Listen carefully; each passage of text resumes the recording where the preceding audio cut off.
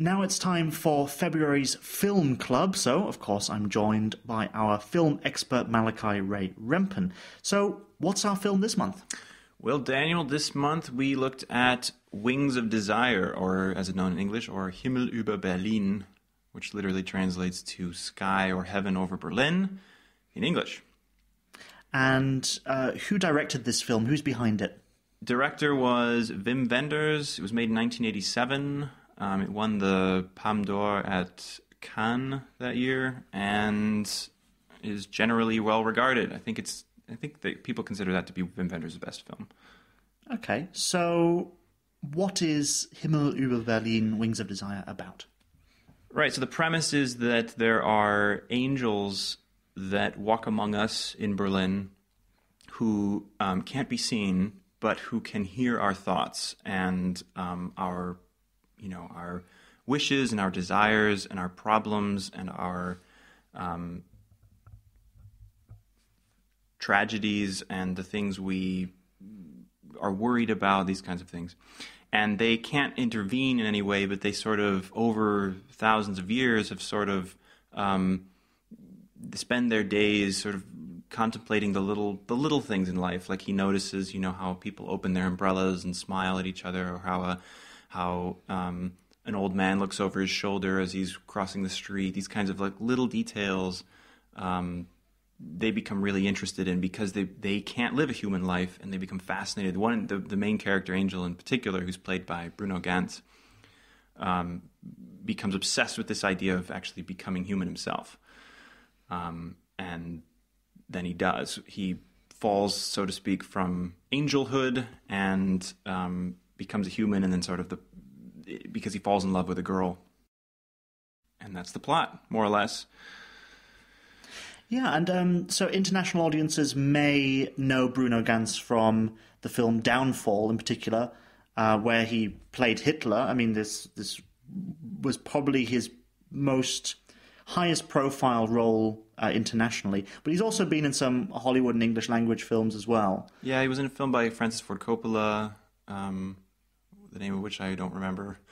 And uh, he was he was in the Baader Meinhof complex too. Yes, yes, he was, which we talked about last month. Mm-hmm. Um, so, is this a good film? Is this something that you would uh, who would you recommend it to, or, all right. at all? So I chose this film to watch this because when I was at film school many years ago, this was my favorite film of all time. I had a signed poster by Wim Wenders hanging in my apartment or my dorm this was the like I just I loved this movie and watching it again I just did not love the movie as much as I as much as I did and I think part of it has to do with that the movie was is made to be seen in a cinema when you've decided you you have 2 hours to put aside to watch this movie because it there are there are parts of it that drag. There are parts of it's a very artsy film. The, the narrative I described sounds much more um, coherent than what's actually in the film. Because it's very slow paced, isn't it? The pace is very slow, and it's also just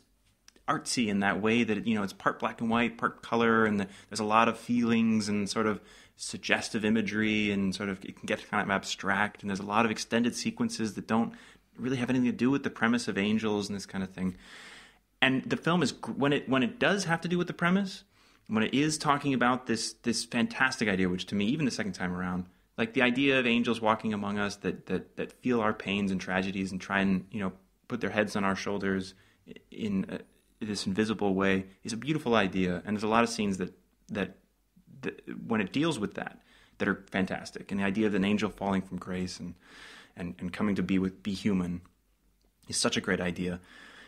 Um that but when it doesn't have to do with that then it drags and then it has problems. And so i think if you can set aside the patience mentally when you're sitting down to watch this movie and be like, okay, it's going to be a little weird, it's going to drag on, it's going to be two hours long, and it's not going to be an action thrill ride, and you can put yourself in that mind space, I think you'll appreciate it a lot more. Then it's a, then when you're in that that mental space, it is a beautiful film.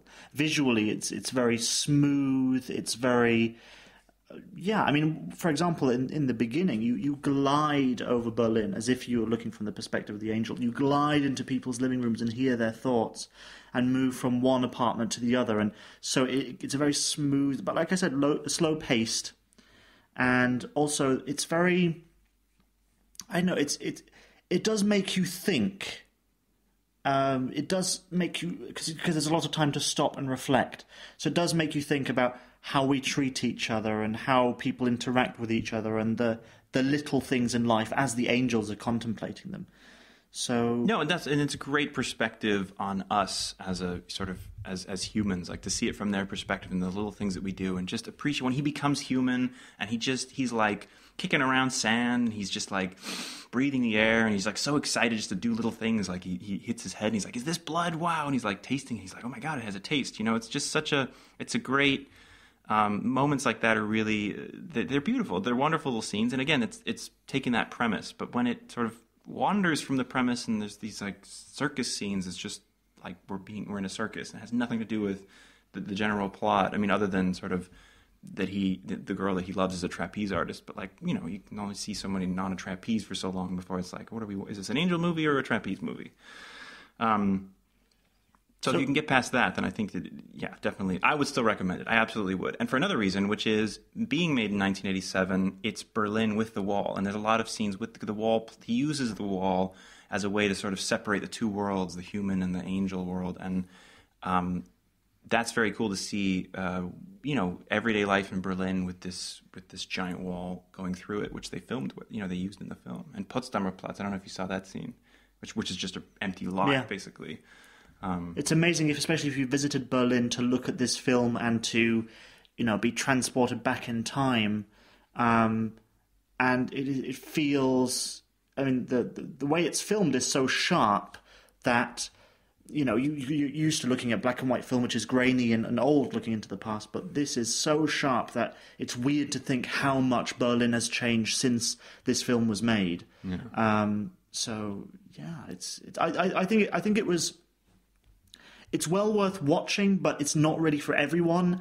And I think it's definitely something where you need to be ready to relax, contemplate, take it all in, um, and have a think rather than uh, switch it on to be just purely entertained. Yeah, set aside the time, put yourself mentally there, be like, we're gonna we're gonna go. I mean, take us, take me somewhere, Wim Wenders, take me on this experience. You know, then then you'll be more into it than if you're just like, eh, I could rather be watching something else.